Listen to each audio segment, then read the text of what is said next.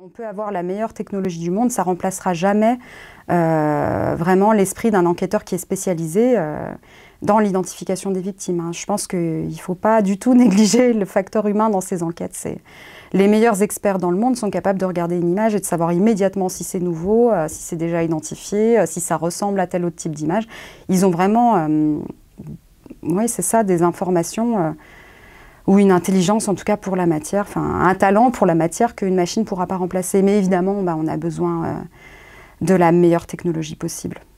Et je pense que pour les enquêteurs aussi, c'est euh, la rapidité. Voilà. Il ne faut pas qu'on ait du temps à perdre à attendre qu'un logiciel fonctionne. Il faut que ça aille le, le plus vite possible. On n'a pas de temps à perdre. Il y a tellement, tellement d'images et de vidéos à regarder.